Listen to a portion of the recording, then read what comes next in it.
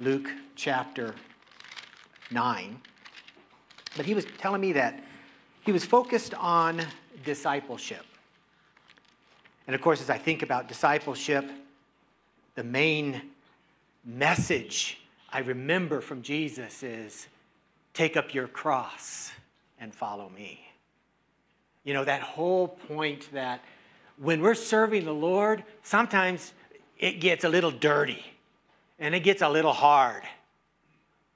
But we're called to follow Him in all things. And so I was thinking about how, how does that fit here with a mountaintop experience of the transfiguration? Because he shared it, he said, well, this is kind of where we're going next. This is what the next lesson. And so I was thinking, well, you know, when you're paying the cost of discipleship, sometimes you're suffering through some difficulties. Well, it's hard to deny ourselves, isn't it? Not only do we have this flesh driving us, but the world is working behind it too to drive us to be selfish. It does come down mainly to selfishness, I would think. Well, I wonder, especially when you're in the struggles of life, how often have you wanted a mountaintop experience? A spiritual mountaintop experience. Well, we all, I'm sure, are fairly familiar with the Transfiguration story already. So we know this is going to be a mountaintop, and we know this is going to be an experience. Let me share with you back when I was a teenager, when I'm supposed to say, I guess I was young and stupid, I used to go backpacking. Now, I already lived in the woods, I was raised in the woods. But I, as a teenager, would go originally with my family and then later with other friends. And we would go up into the mountains, sometimes the Trinity Alps area, um, up out of the uh, area of Burney, which was close to where I was raised. And we go up into the mountains. We go up to this high mountain lake. There's a mountain, and then the lake was kind of like in the crater of this mountain. And we'd, we'd go up there for about a week, backpacking, fishing. You're familiar with brook trout? I think that high mountain brook trout is some of the best tasting fish you can get. It was a wonderful time up there, but there was a highlight to this. It was not enough to be up the crater of the lake. I needed to get to the top of that mountain. Because, you know, we're always wondering what's on the other side. And every time Every time during that week, that highlight would be to go to the top of that mountain. So we would climb up to that mountain. It'd sometimes take hours to get up there. And once you finally peeked over the edge of that mountain, sometimes you'd see some of the most beautiful sights. A lot of times it was more mountains and more water and more creeks. Sometimes if you could, if you got in the right spot, you could actually see down into the valley and could start seeing. But it was a beautiful sight. Well worth all the effort. But we couldn't stay up there for long. You had to get back down to camp before it got dark. The last thing you want to do is try to be crawling off of a mountain in the dark. But that was the highlight of the backpacking trip. Well, Jesus has taken three disciples up a mountain. And this is going to be a highlight for them. Something that they will be able to use once the resurrection once the Holy Spirit had come upon them. They could use this as an encouragement to God's people to say, you know what? I know you're in some struggling times right now, but I've got good news. Good news. Glory is coming. Glory is coming. And I saw it with my own eyes, so these three could say. Let's look at the text. If you have a Bible and you want to open it, or if you just want to listen to me read, I can do that. It's out of Luke chapter 9, and I'm going to be reading verses 28 through 36. Some eight days after these sayings, he took along Peter and John and James and went up on the mountain to pray. And while he was praying, the appearance of his face became different, and his clothing became white and gleaming. And behold, two men were talking with him and they were Moses and Elijah, who appearing in glory were speaking of his departure, which he was about to accomplish at Jerusalem. Now, Peter and his companions had been overcome with sleep, but when they were fully awake, they saw his glory and the two men standing with him. And as they were leaving him, Peter said to Jesus, Master, it is good for us to be here. Let us make three tabernacles one for you, and one for Moses, and one for Elijah not realizing what he was saying. While he was saying this, a cloud formed and began to overshadow them, and they were afraid as they entered the cloud. Then a voice came out of the cloud saying, This is my son, my chosen one. Listen to him. And when the voice had spoken, Jesus was found alone, and they kept silent and reported to no one in those days any of the things which they had seen. As Luke records, eight days after Jesus had been instructing the disciples about his coming death, burial, and resurrection, he took three disciples to a mountaintop.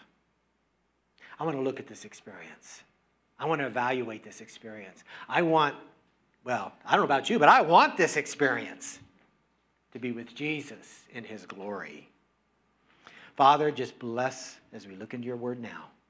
I pray in Jesus' name. Amen. So I want to begin with the fact of the transfiguration. Only Luke tells us that Jesus went up the mountain to pray. In fact, Luke often tells us about Jesus going up mountains or getting alone to pray. Luke is a great encouragement to us about, hey, we need a good prayer life. And so Luke tells us they're going up this mountain to pray, but while praying, he is transfigured. Now, Luke doesn't use the word transfigure. Speculation here by scholars is that he probably didn't want to um, encourage the Greek minded philosophies of the, the gods of the Greeks and their transfigurations, you know, stuff like that. Matthew and Mark, however, make it very clear this is a transfiguration. What do we mean by transfiguration? Well, for one thing, as Luke describes, his face changed. The appearance of his face changed. Can I just say, it glowed. Not just his face, his clothing glowed bright white. Bright white. That leukos in the Greek is a bright white. And in fact, it is actually described not just as bright white, but like flashes of lightning. Of course, we're all familiar with the thunderstorms, right? We don't like them very much because that sometimes means fire. But the bright flash of light for a moment blinds you well, this is how Jesus is described. I believe that Jesus actually reassumed the glory, the appearance of glory that he had had prior to his incarnation. Prior to Jesus becoming a man, prior to Jesus as a baby in Bethlehem, he had spent eternity past as God, God the Son. What was his appearance? Glorious glorious appearance. Here is Jesus assuming, reassuming this glory that always been his prior to the incarnation, with his face and his body shining, his garments glowing this brilliant white. It's hard to imagine. Luke even has to try to describe it as comparing to lightning and comparing to the whitest of white. I believe it's Matthew or Mark that speaks of it as being uh, whiter than snow. A brilliant, brilliant, bright light. Not only is Jesus seen, but there's two with him Moses and Elias, or Moses and Elijah as we would say it. They're with Jesus on the mountain in glory, in glorified form. I mean, think about it. Moses had been dead a long time ago. Elijah, he went up in a fiery chariot. And here they are with Jesus on the mount.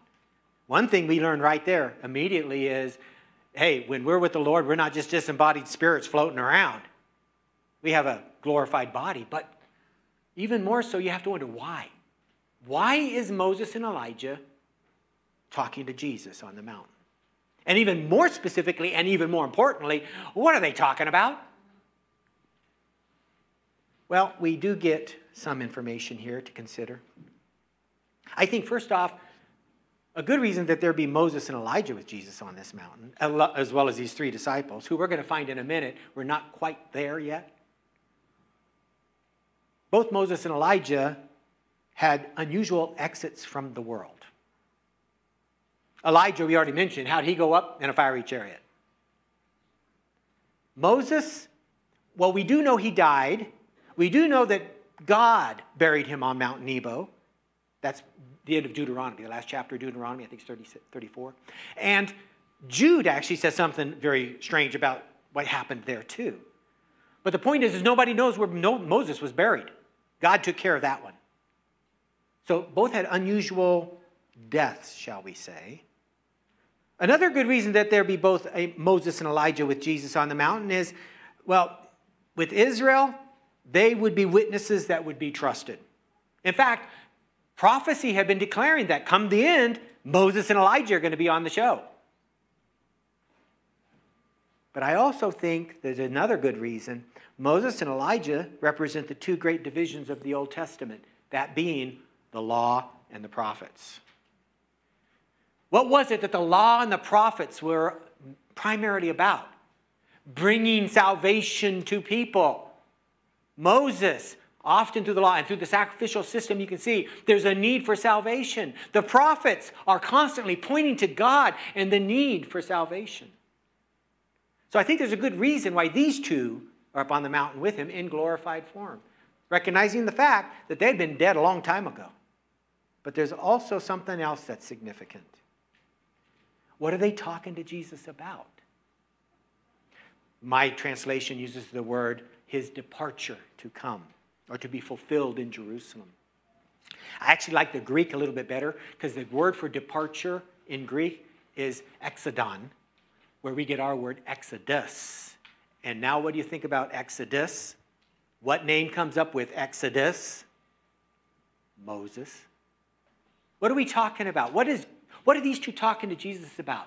Jesus is going to die, fulfilling the law and the prophets bringing us salvation.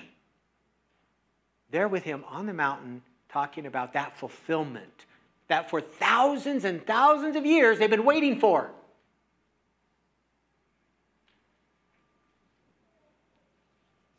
But why? I believe that this was an encouragement for Jesus. Now, Jesus is a hard one to kind of define. I mean, think about it. How can you be 100% God and 100% man? I got my doctorate in theology, and guess what? I haven't figured that one out yet. But you know what? I've studied the other doctors of theology, and they don't have it figured out either. None of us has that one figured out. We can work on a 50 50 concept, but not 100 100. You're either 100% one thing or 100%. Jesus is all God and all man. Guess what? You don't have to figure it out, but you do have to believe it. But what am I saying here? In his humanity, the thought of carrying your and my sin on him on the cross must have been crushing, devastating. You and I have a hard time really understanding this because we have a sin nature, and it often influences our choices and decisions. It is what mars our conscience and our, our conception of things. Jesus was perfectly sinless. Hebrews 4:15. He was tempted in all points as we are, yet without sin. Jesus was perfectly sinless. All his life, not one sin. Again, that just blows your mind, doesn't it? But on that cross, he was a condemned sinner condemned because of my sin, because of your sin. That must have just totally thrown him for a loop in his humanity, okay? I hate to separate deity and humanity, but boy, I can imagine that this must have been quite an encouragement. Moses and Elijah up on the mountain with him saying, We got this, Lord. You got this. I can imagine Moses and Elijah with Jesus. Think about it. Ever since Moses and Elijah had been and gone on to heaven, They were probably just rejoicing and glorifying with Jesus before his incarnation. What a great time they had probably had together prior to Jesus' incarnation. But in all of this, and considering what a benefit this might have been for Jesus, you know who the main audience was? Three disciples. Three disciples. So here is Jesus transfigured on the mountain. And it's almost a sad fact to note that the disciples kind of missed the opening of this event. However, I want us to focus on these three disciples for a minute. Again, we know that they are Peter, James, and John. And they get to go up to the mountain with Jesus. These, is, these were one of the, the only other one was Andrew that was part of this inner circle, the closest group to Jesus, the ones that Jesus gave the best, most instructions to. I mean, this was the group that um, when Jesus went in to raise Jairus' daughter from the dead, these were the ones that got to go with him for that. So these were the closest disciples to Jesus. And they get to go up on the mountain. Why would Jesus think it necessary for these three disciples to receive this mountaintop experience? Well, Jesus had already been telling them that he was about to die. He was going to a cross and he was going to die. But when they looked at Jesus, they were looking at the Messiah that they had always dreamed about. The one that would come and conquer Rome, the one that would become and make them the most powerful nation on earth. They weren't looking for a dead Messiah, they were looking for a reigning Messiah. And they couldn't get this through. Jesus couldn't seem to get this through their heads. But he was starting now to tell them, to warn them over and over and over again. We read in the Gospels how God, Jesus was warning the disciples I'm going to go to the cross, I'm going to die, I am going to, three days later, rise again. And they couldn't ever seem to get it. And so Jesus takes him up on a mountain. Right after one of his first times, he declared that fact to them. Because there's a tragedy coming.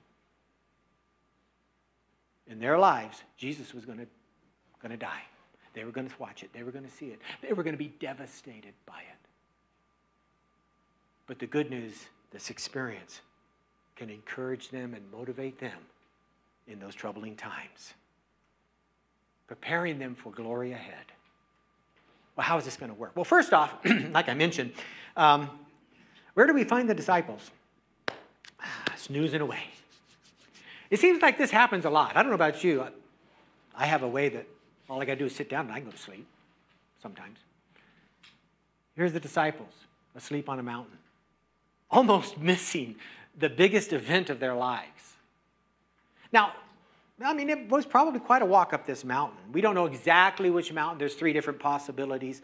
Um, most cases probably was up to a six hour journey to get up to the mountaintop. And once there, it could have been evening time. And hey, they were exhausted.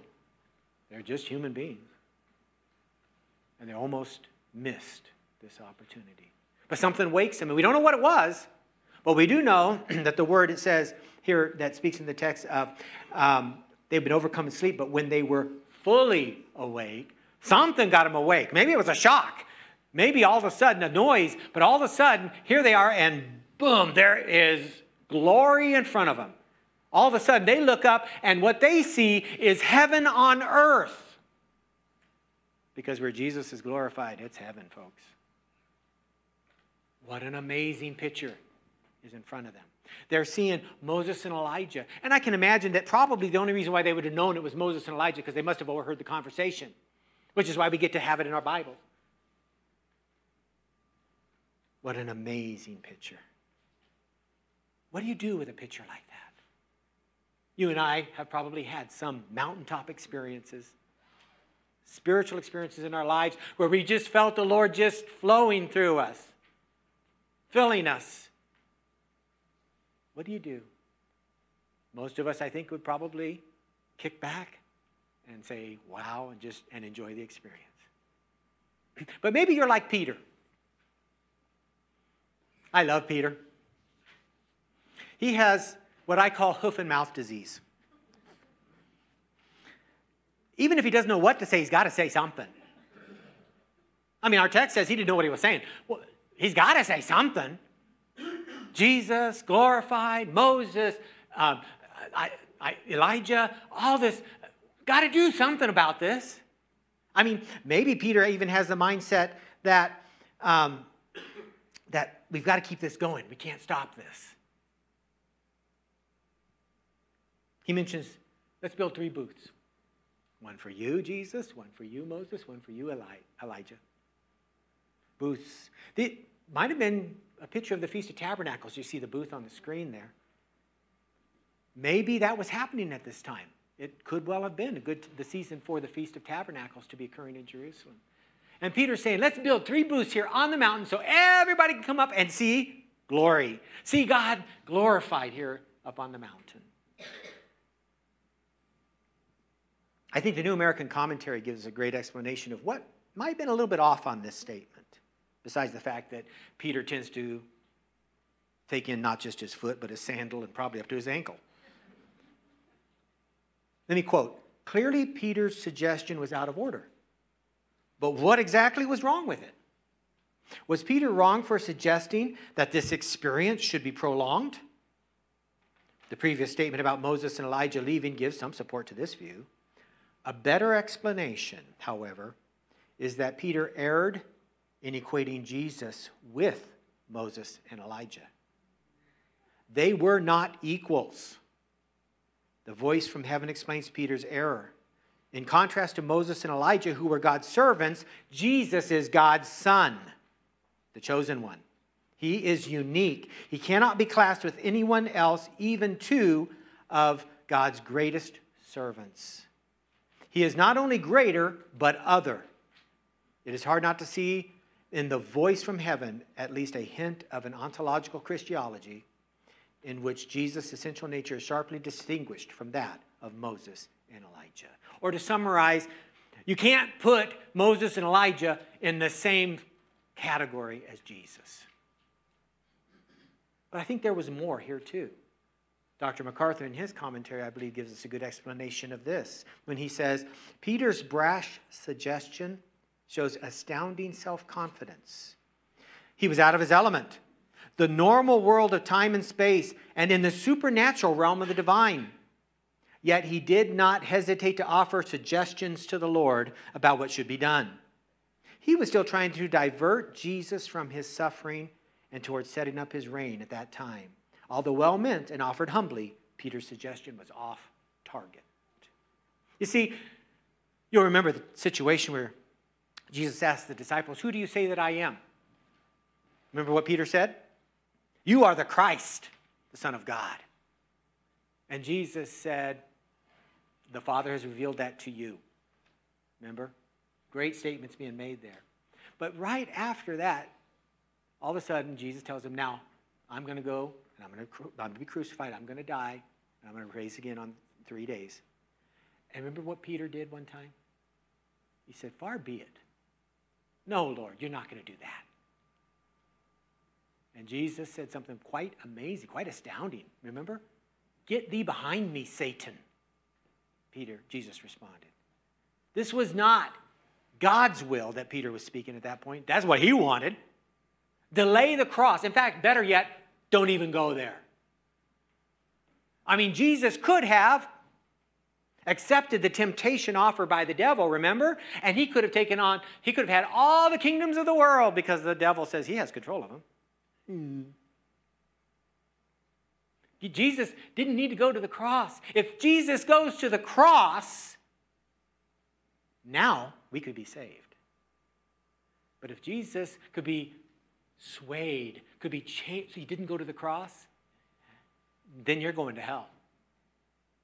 Because that's the only option to heaven through Jesus and his death on the cross. Peter, again, is thinking, I want to see Jesus in power as the King of Kings. I want to see him conquer these doggone Romans. I want to see Israel in that glorious position as prophesied over all the world. There's a problem here, Peter. Not even you are going to get in that kingdom unless you're saved. Salvation needs to be settled first. So I think there's a couple things going on here, but I think the big thing here, what I want us to think about this morning is Peter wanted this experience to never end. And don't you? I mean, when you can be close to the Lord, isn't that the best place to be? Lord, don't let it end. We want to be here forever. He didn't know what he was saying. The three disciples were blessed with this mountaintop experience.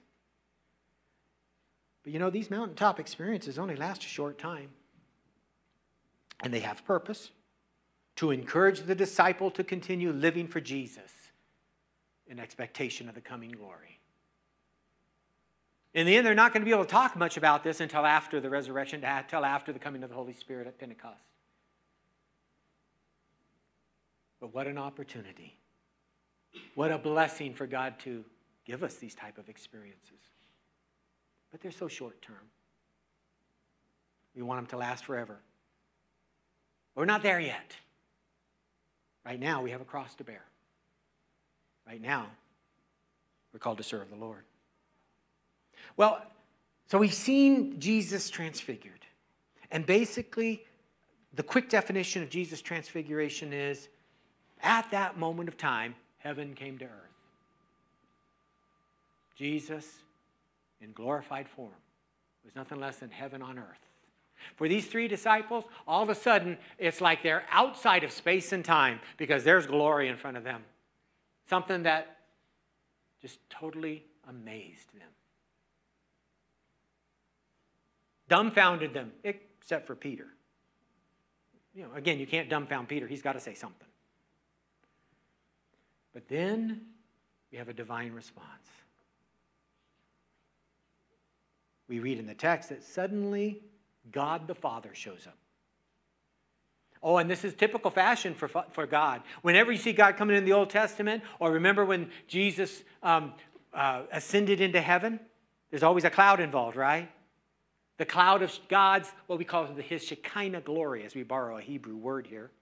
The Shekinah glory of God. He shows up in typical fashion, in a glowing cloud. I tried to get bright clouds, but that's as good as I could get. As we compare the gospel accounts of the Transfiguration, Matthew, for example, tells us that when they entered into this cloud, the disciples, let's put it this way, they fell on their faces. They hit the deck, folks. They were in the presence of the Father, and it scared them to death. And then God spoke. God spoke three times. The Father, three times in Jesus' life.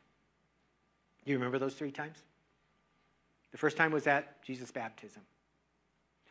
The one person who definitely knew what the Father said at Jesus' baptism, besides Jesus himself, John the Baptist, because it helped identify Jesus as the Messiah to him. You wonder, how many other people heard it and understood? This is the second time, the transfiguration. Here, there's only three disciples present to hear. The last time occurs right prior to his death on the cross. And at that time, the crowds think it's thunder or they think that an angel is speaking to Jesus. They apparently don't want to or don't understand what's being said. But in all three instances, God the Father says, This is my Son. Here, my chosen one. At the baptism, in whom I'm well pleased. This is my Son. And then, I know, Peter, you want this to go forever. I know, Peter, you don't ever want this experience to end. I understand that. I mean, this is one of the most wonderful, glorious times, maybe, that you'll ever experience in your life. And guess what? It's never going to happen again. What are you supposed to do? Listen to Jesus. That's what Father says. This is my son, my chosen one. Listen to him. Akute. Listen to him. As the cloud dissipated, Jesus came, according to Matthew 17, again, touched them and said, Get up. And at that point, it's Jesus. Glory's gone. Back to normal. Jesus as they had known him before. Again, let me quote from the New American Commentary for a minute. The account centers on Jesus, not on Moses and Elijah, and not even on Moses, Elijah, and Jesus. The law and the prophets pointed to Jesus. He is the essence and the heart of God's revelation. Anything that detracts from Jesus alone, such as Peter's suggestion of the booths, loses sight of the fact that believers in the early church were called Christians because Jesus alone was the ground of their faith. Therefore, when anyone seeks to add something, making the Christian faith Jesus plus, a basic misunderstanding of the Christian faith has occurred. It's about Jesus. We love to read Moses. We love to read the Exodus story. We love to read the prophets. Who doesn't want to hear about Elijah on the mountain with all those prophets of Baal? And how they can't get God, their God, Baal, to send fire on the sacrifice, but Elijah could in a simple prayer. Who doesn't want to hear these stories? Who doesn't want to read these stories? But remember, all of this, in one way or another, is pointing to Jesus. The point of the Bible is Jesus. The point is we need Jesus for our salvation. Three disciples received their mountaintop experience. They only had this one time. But even then, as they come down the mountain, they can't share it. Well, think about it, how quickly people want to share their mountaintop experiences today, but they're, they're prohibited. In fact, we don't read it in our text, but over in Matthew, as they're coming down the mountain, Jesus tells them, don't share this until after the resurrection, until after the coming of the Holy Spirit. Why?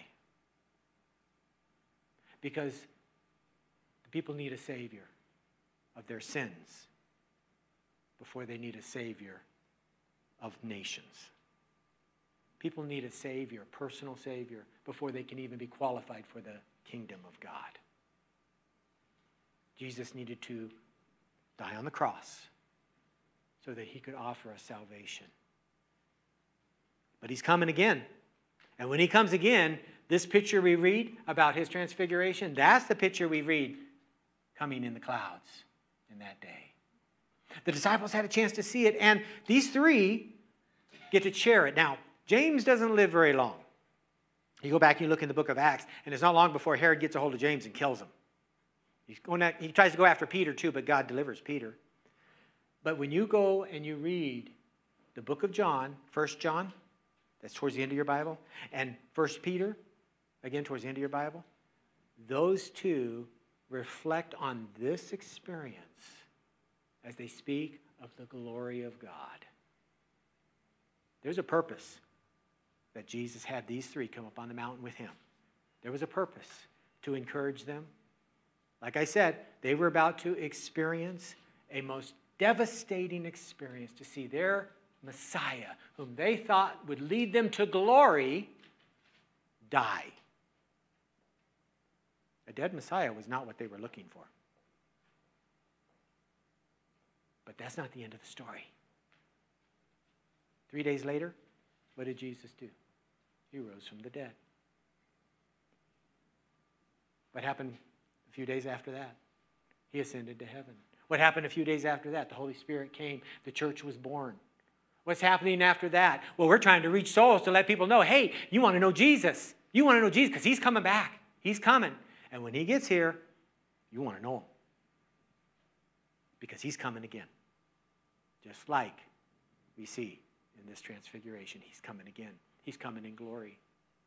Praise the Lord. Don't you want him to come now? Don't you want him to come today? Come, Lord Jesus, as Apostle Paul says at the end of Corinthians.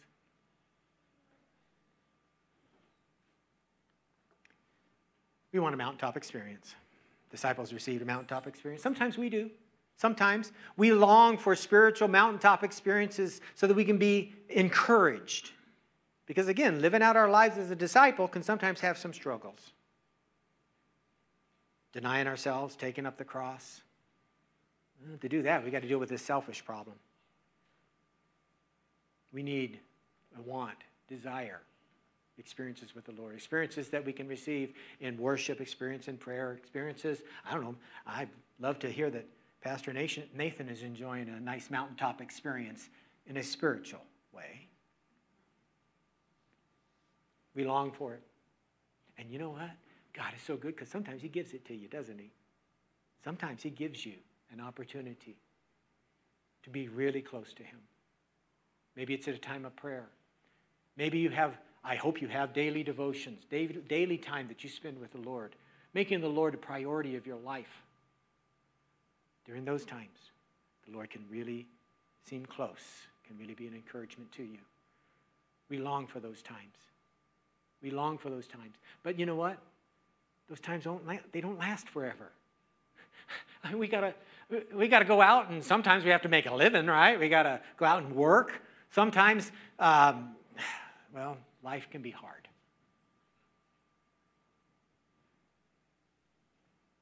Can I encourage you this morning?